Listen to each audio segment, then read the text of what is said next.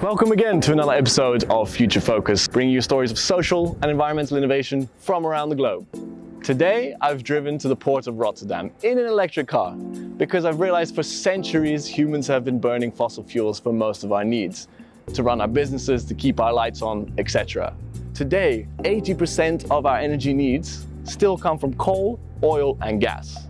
However, this is changing rapidly, and I've come here to see exactly why.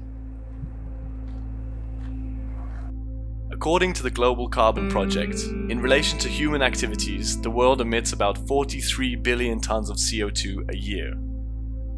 The most dangerous pollutants are dioxins and benzene, created from none other than fossil fuels. And people who live in places with high levels of air pollution have a 20% higher risk of death from cancer, according to the World Health Organization. Not only do fossil fuels affect our personal health, but they also affect the environments around us. They create issues such as land degradation, water pollution, acidification, and more. Because we keep hearing the same arguments about why are we not taking bigger steps to reduce our CO2 emissions? Why are we still using fossil fuels? This is a prime example of big steps forward in the right direction, big steps in innovation that we need now. Wind energy has definitely been the most popular form of renewable energy so far, ever since the ancient Persians invented it in 200 BC. And ever since then, it's been used for all kinds of purposes in all kinds of societies around the world. Wow, it's huge. This is the Haliade X, the world's biggest wind turbine. It's standing here in the port of Rotterdam before it heads out to the deep sea. It's a pretty epic name, it's a mammoth engineering project, and it's the height of the Eiffel Tower. I can hardly even get it in shot.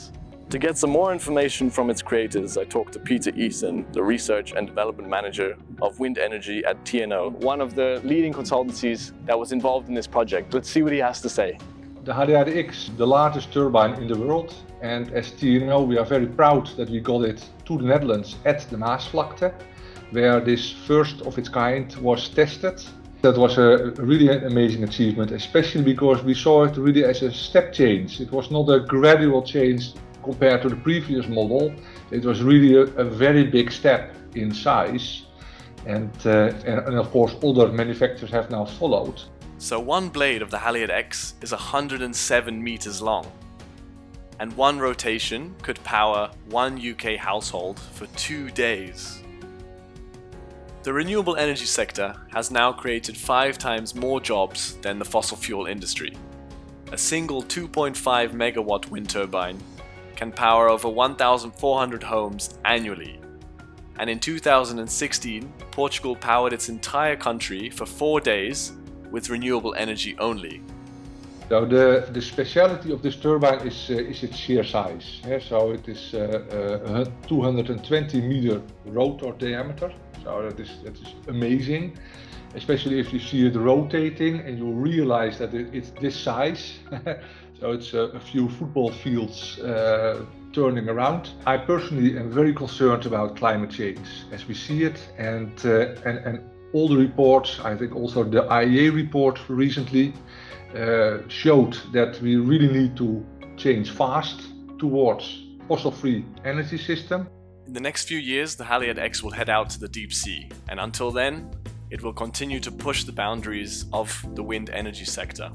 So stay up to date with all the latest developments of the Haliade X. It's time to drive back in my electric car now. That's one problem and one solution. See you next time.